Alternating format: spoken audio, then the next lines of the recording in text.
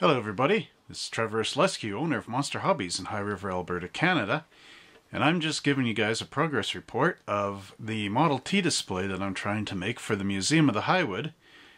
Um, when we show Laurel and Hardy on our silent movie night down at the Museum of the Highwood in High River, Alberta, Canada. This can take place April 28th at 7 o'clock p.m. So come on down and watch some good old slapstick with Hardy and Laurel.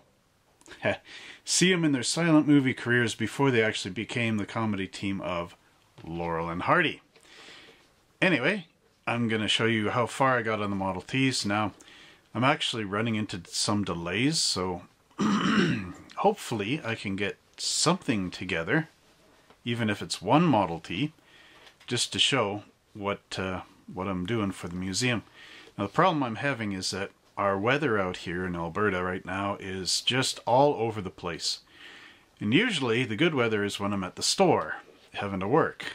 And the bad weather is on the weekend when I have time to actually get ready for this display. So what I mean is, you know, you get a nice, hot, warm day with no wind when I gotta work. The rainy, ugly days when I need to go outside and paint these models is a time when it's the weekend and I actually have time to paint the models. So that's a snag I'm running into. But there is one thing about this. We're constantly going to be revisiting silent movies. I'm going to try for every two months out of the year. So that would mean our next one is in June at some point. And uh, so there, um, I'm just starting to ramble here. but I want this to be like an ongoing display because I want to make uh, a facade of some of the buildings around High River. And uh, that's going to take me a little longer than just a few days until the 28th. So we're going to try to make that one a really, really cool display. Now, let's go down to my bench and see how far I've progressed on Model Ts. Oh, and I picked up this bowler hat. Now this is what Laurel and Hardy and Charlie Chaplin and a lot of the comedians of the time, I think Fatty Arbuckle and those guys wore in their movies. So I thought I'd pick one up. There's a place up in Chinook Center that sells vintage hats. You can actually pick up, if you're the ladies watching, you can actually pick up the flapper style hats of that era. There's a whole bunch of steampunk stuff. It's a really cool place. And since Monster Hobbies doesn't sell hats, well, I thought I'd pick up some. So I might have a little persona of a 1920s looking guy when I do this, these silent films. And I wore this striped shirt and my black uh, kind of warm jacket. It's funny because uh, looking at myself, I kind of remind myself of some of those characters in some of the old Bugs Bunny cartoons and things like that. So, interesting stuff. Now, let's go down and take a quick gander at our Model Ts.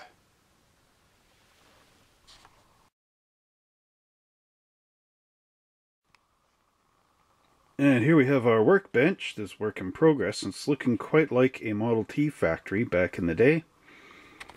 I've got all the frames in the back here with some bodies and then some of the components like the turtle decks, the spare tires, the steering columns, and then sort of like a pulled out version of some of the cars just so I don't lose parts. And then here I've got all the up top uh, tops, the windshield frames for the coupes, the seat bottoms, the seat backs, wheels, folded up um, tops, or folded down tops and of course the uh, pickup truck the tall T or as they call it the five window coupe. Uh, this T is that five window coupe. Then I have a uh, turtleback body here another pickup truck the pie wagon and of course yeah your turtle decks and whatever. Now the frames here this is from the panel van, the 23T panel van. These ones are all 25 kits. oops, of course this one, sort of work in progress. I'm probably going to have to repaint this because the, there was specks of paint flying out and landing on this thing, like not specks in the paint, I should say, because my rattle can is a bit old, so that's no fun. This is the 25T frame. Now the engine actually is sort of a race version. This is like the police interceptor kit, which had uh, twin overhead cams and this sort of thing. So it's going to have a different look under there. There's an exhaust pipe that comes out the side and kicks back like a race car. Now, this is the other 27T. zoom back a little. This was the one that was the model kit from the customer that passed away that glued the hood solid for his train layout and all the rest. And it used to be cream color, now it's light gray, which is one of the colors for 1927. So I can't really get too far around this. And I left the beige top, but I've got to repaint it because there's all kinds of brush hair and everything, because he painted it with a brush and it's actually pretty ugly up close. After I washed all the dirt off it, it was like, uh-oh, whoops, gotta repaint it. And of course the wire wheels in the front, and the wood spokes in the back, the wood spokes in the back are going to be replaced. This was just so that I could make the car stand up. And I've got to re-chrome the little steps, because I had to paint over those when I painted the fenders. He never painted the fenders, he left them gloss black plastic. Window frame I also painted black. It was a body color. It's just sitting there temporarily. This has got to be pushed up to the cowling. And uh, you'll notice that there's no fenders here except for on this one. That's because they're over drying. I'll just go over and show you that.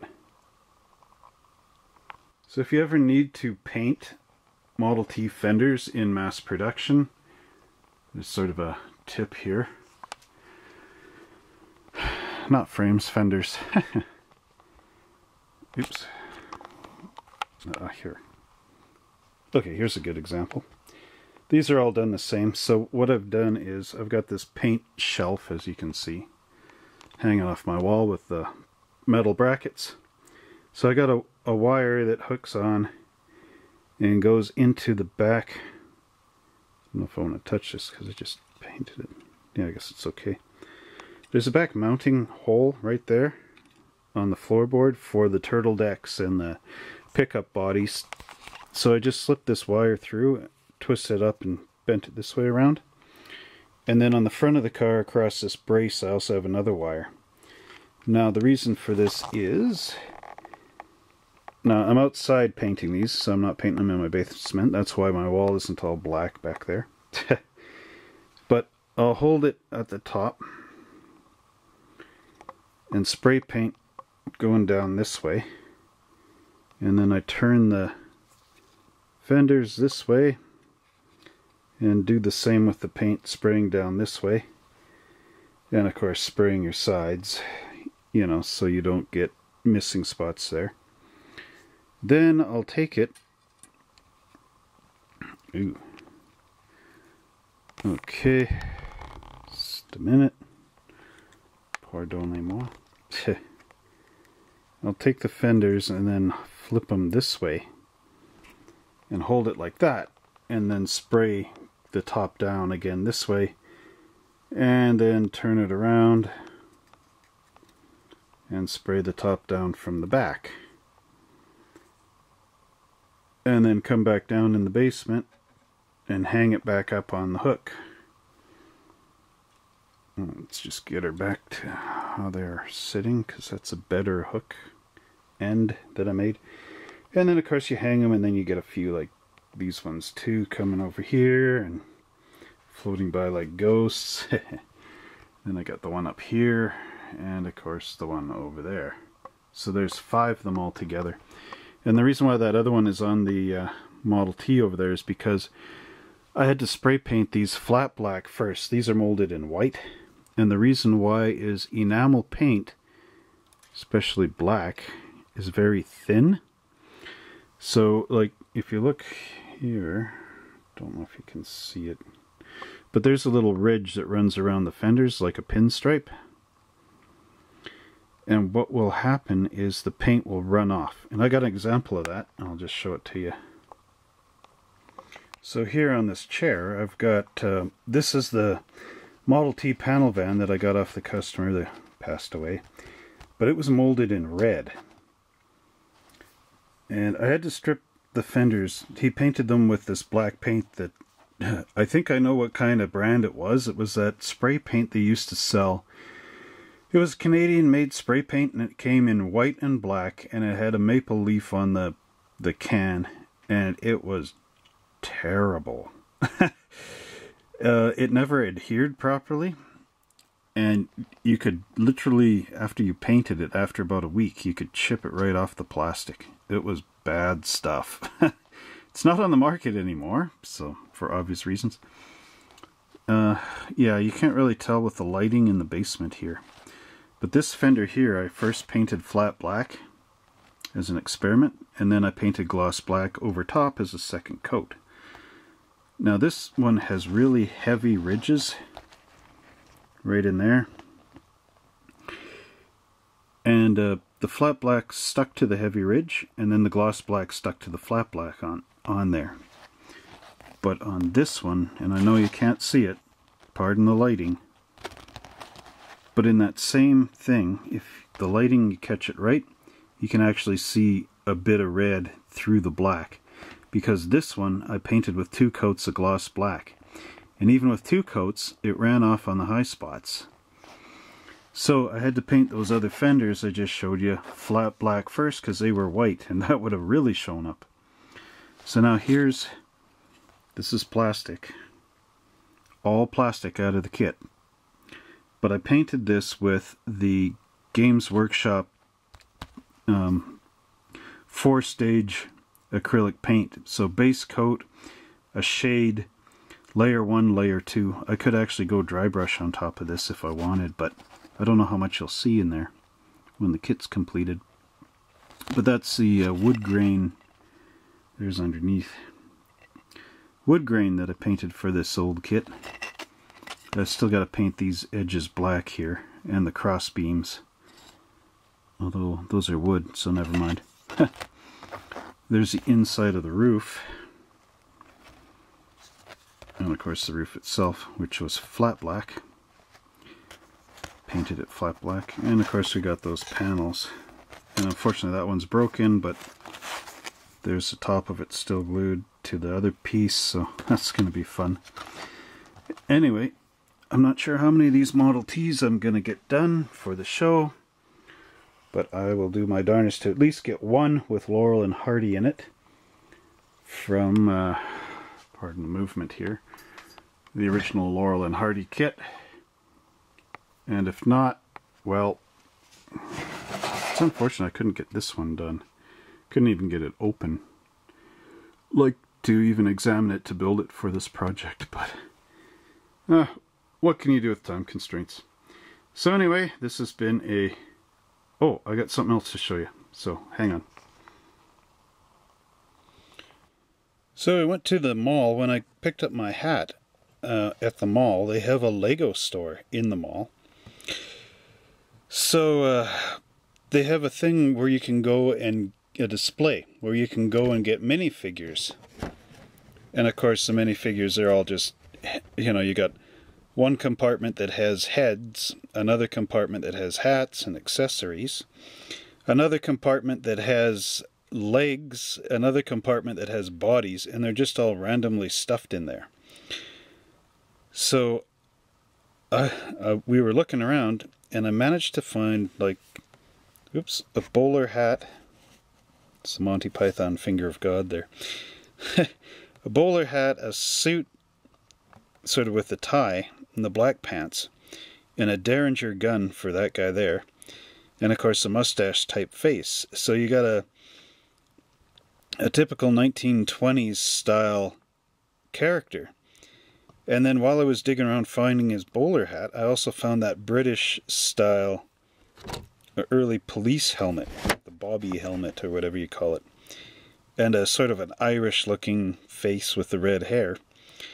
I couldn't find a police shirt, but I did find that sort of, you know, 20s era suspenders with the white shirt thing. And he's got a pair of jeans with a little bit of uh, pockets, gold lined pockets.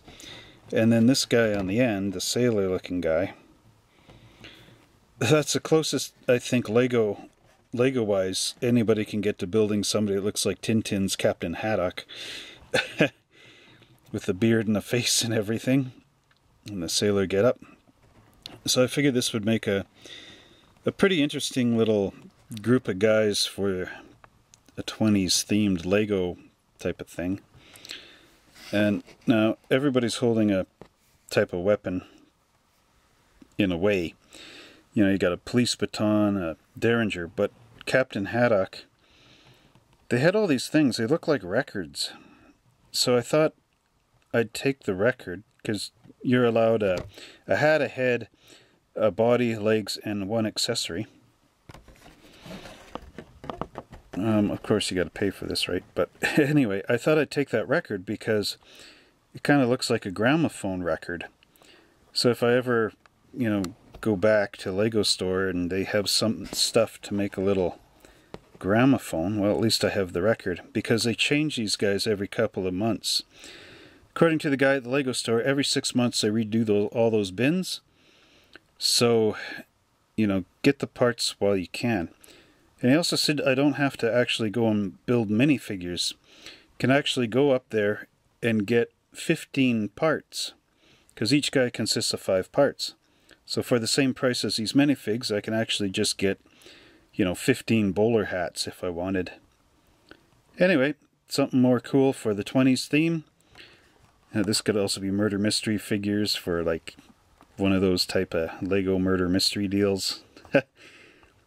anyway, hope you enjoy it and hope you come down for our show of Laurel and Hardy on April 28th, Museum of the Highwoods, 7 o'clock down in High River. We'll talk to you soon. Bye.